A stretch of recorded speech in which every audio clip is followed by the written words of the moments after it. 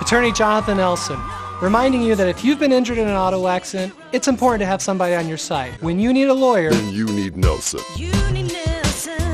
In a tragic incident early this morning on the east side of the valley at Charleston and Hollywood Boulevards, two individuals lost their lives in a hit and run crash. Las Vegas Metropolitan Police Department responded to the crash report around 2:45 a.m. The fatal crash occurred as a white truck traveling south on Hollywood Boulevard collided with a blue SUV traveling west on Charleston Boulevard. Unfortunately, both occupants of the SUV did not survive the impact.